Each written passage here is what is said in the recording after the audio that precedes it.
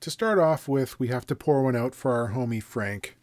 MrFrets.com, Frank Ford, who passed away a few days ago. I discovered his website in 1998. I think that might have been the year he started it, and that's probably around the time that this photo was taken. This is what high definition online photos look like back in the 90s, kids. They would take like 30 seconds to load. Frank was not only a pioneer in repair techniques, but also the progenitor of the idea that guitar repair information could be shared on the internet. Prior to that, it was a very secretive business. He was the first. In 25 years, I had two short email exchanges with Frank in which we were both very professional and didn't yammer on, you know. But Frank Ford was a very important influence for me, uh, but also virtually all guitar repair people working today, even the ones who don't know it. Got a really nice old Martin in the shop today. This is an 015. I've always had an appreciation for the all mahogany models. This guy here is from 1958. They have a really warm sound. Uh, very even string response all the way across. I remember Kenneth Pattengale talking about why he fell into playing these, and he says that when you're doing single note runs, you almost can't tell which string is being played because there's very little timbral difference between the wound strings and the unwound. Somehow it, it makes a very even, very cohesive sound. I think his is 1954. Uh, this being a small bodied instrument, you get this kind of intimate sound, sort of harkens back to some time when music was something you shared with close friends and relations. It's a very human sized sound. Who else played one of these? John Frusciante of the Red Hot Chili Peppers has got a few that he uses a lot. Uh, back in the day, mostly a number of folky type songsters. I think Woody Guthrie might have had one, although it could have been a 17. I don't remember.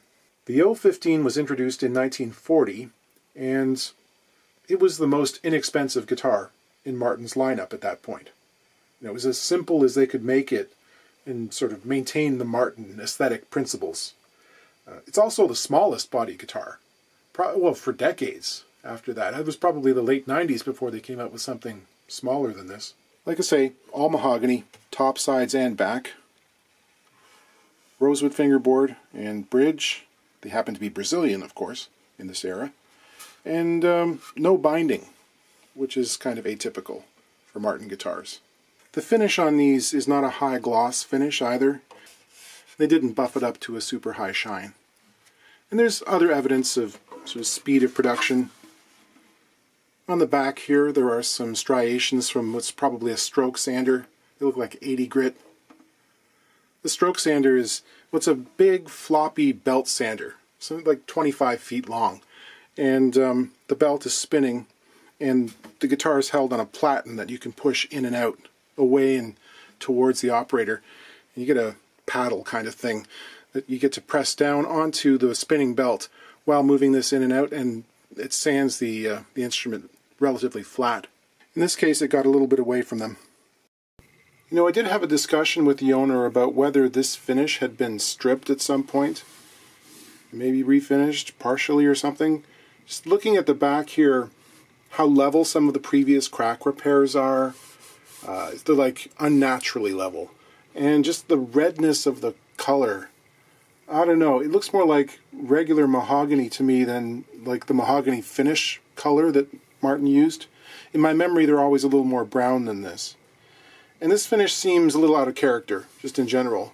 You know, there are areas on the sides that have a lot of dings and, you know, wear, but where's the buckle rash? It's too clean. So I, I don't know. So this thing is in pretty good shape, but there are some previous repairs and some cracks that we want to check out and make sure are okay to go. And just give it the once over. So let's get into it. The first thing I want to check out is the bridge here, which appears to be full height. It's never been cut down, which is nice to see. And the saddle here is low, which is kind of what you expect in a guitar of this vintage. Usually they've been brought down to uh, make for better playing action. They didn't start off super high either. These through saddles, um, they were a little bit on the lower side than what they ended up being in later years. The top on this guitar has some distortion and waviness in it.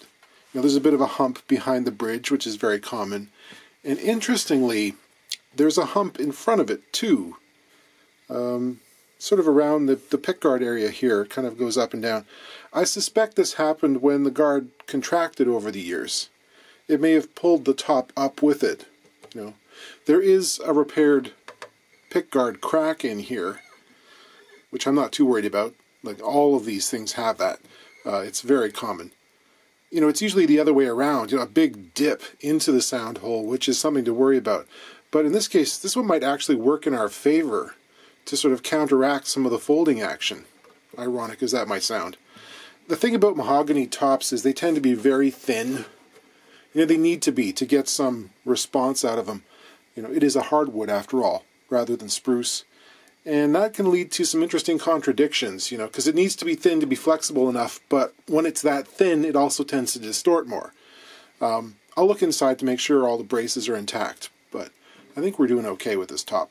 The owner wanted to know about the state of the frets. These are actually in pretty good shape.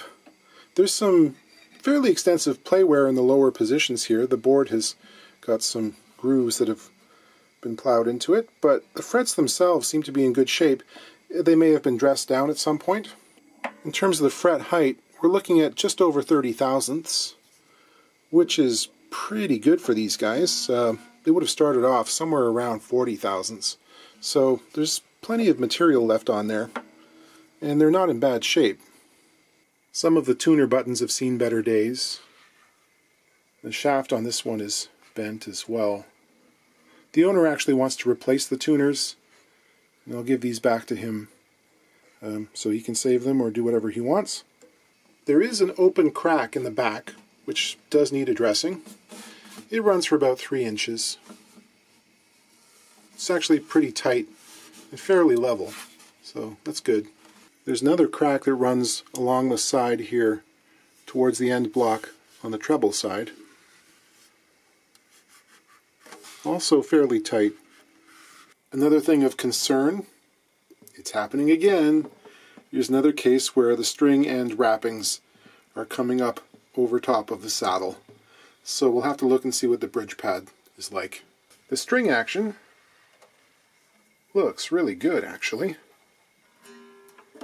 It is less than 6 64ths on the bass side and 5 even on the treble. So no problem there. This thing, um, I mean, we could do a neck reset if someone wanted to spend a whole bunch of money, but no, it's not really necessary. This, after 65 years, is just fine. And the neck relief, 7 thousandths. Beautiful. This has some unslotted bridge pins in it. And they fit more or less okay. One or two of them could use just a little bit of reaming. Well, looks like I spoke too soon. With the strings off, I can see grooves have been cut into what's left of the saddle, and the bass strings are basically down on the wood surface. So, neck reset time it is. Inside, the braces are all intact and glued. On this economy model, the boys in the glue room were a little more fast and loose with the squeeze out. They didn't really care about cleaning it up as much as they usually did. The bridge pad is okay, but the holes for the low E and A strings are large enough that the ball ends pull up right through them and sit against the underside of the bridge, which is no good. There's also some mysterious glue staining around them. Maybe someone took an extra turn of the reamer when they were fitting the replacement pins and had to thicken the hole back out a bit. There's evidence of crack repair, of course. There's a little tiny strip of broken curved lining uh, down in the bottom where the edge took a hit. And one of the finger braces may have been reglued, or that staining simply could have oozed through when the pickguard crack was glued up. Just looking through the sound hole, I can see where a back brace obviously came loose at some point and was reglued. Some stains on the wood. Let's start on the side crack here. It's a good place to start. Uh, important to get these looked after. You know, you start off with a little crack in the side. You're one good bump away from having it split all the way around your guitar, which is a much more annoying and expensive repair. Using the suction cup to force the glue through the joint, being quite liberal with the glue. I'm using fish glue. Uh, could just as easily be Titebond. Sometimes it is. I'm not that kind of glue snob, you know.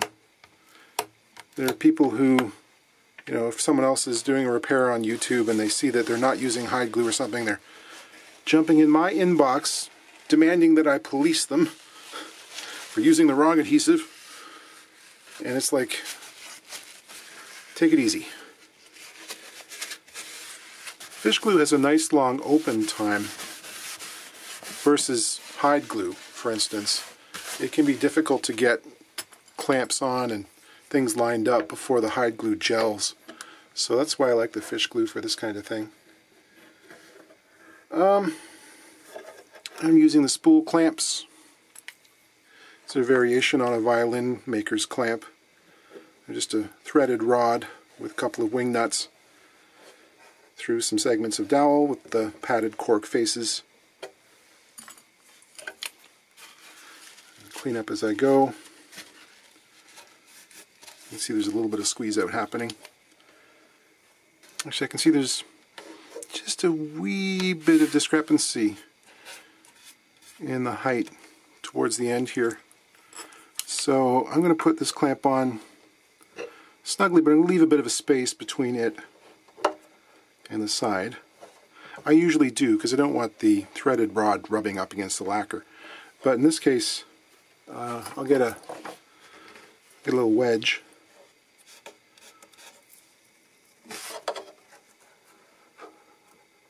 and use that to level out the crack.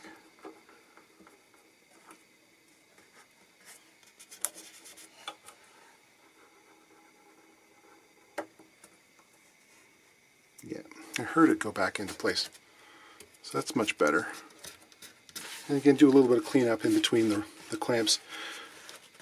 Any remaining squeeze out I'll get afterwards. So I'll let that sit for uh, at least eight hours. I won't really stress the joint until tomorrow. This crack in the back is very similar. Glue goes on, it gets squished in there. I'm using a magnet to align the two sides and also a little clamp here where it's on the tail block. And I'll add a little side pressure. For the reset, I'll start off by taking out the 15th fret, score along the edges, heat it up, pull it out, warm up the fingerboard extension and separate that from the top. Okay, foam cutters are going in. I get these from Hotwire Foam Factory, not a sponsor. These happen to be the product number 035, which is a 4 inch hot knife. The actual length of the thing is closer to 6 inches, but there's 4 inches of usable length. And I power these using the 046, the Crafter's power supply. I heated the joint up for about 12 minutes, gave it some wiggles, and it came right out. Quite often the joint between the soundboard and the neck block becomes loose during removal. Very important to stick that back down. Okay, this is some very definite evidence that the guitar was stripped at some point. You can see they did a very clean job of removing the lacquer right up to the edge of the heel, but this stuff under here, this is what it would originally have been like.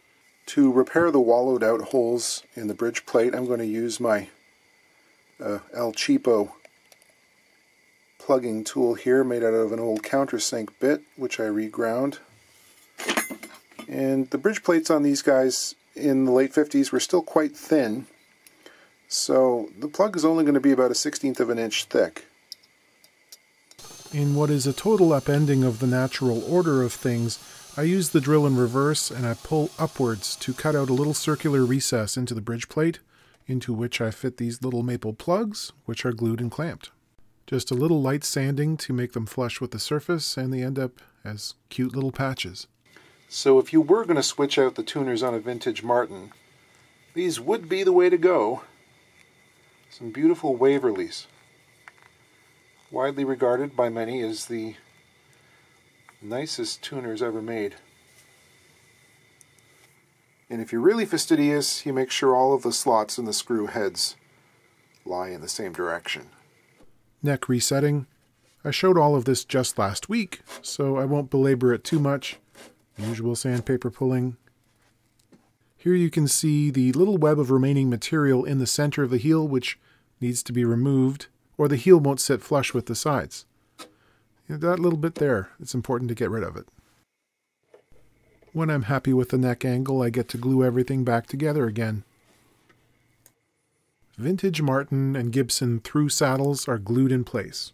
To remove them, I apply a little cold water to the glue lines and let that sit for about 15 minutes to rehydrate. Then I apply some heat from my silicone heater and it just pops free. Then I'll size a new taller blank. Oh, this was a dirty board. I actually took out a razor blade and scraped most of this off.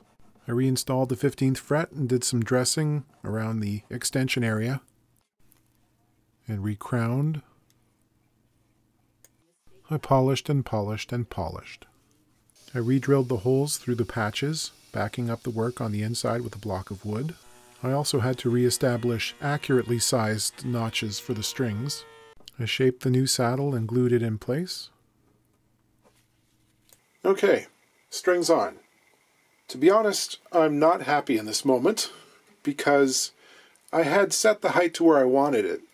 Um, but while I was filing the saddle to correct the intonation, I managed to reduce the height further on the high E string. This bridge leans forward quite a way, and so does the saddle, and pushing the contact point forward 1 32nd of an inch was enough to lower it more than I wanted. It's approximately ten thousandths of an inch too low. So I'm going to have to make a new saddle. That's the joy of through saddles. They take forever to construct, and then when something goes wrong, you have to go back through the whole process again. There's no shimming something like this. However, it's Christmas Eve Eve, and I'm going to wait a few days before I do that.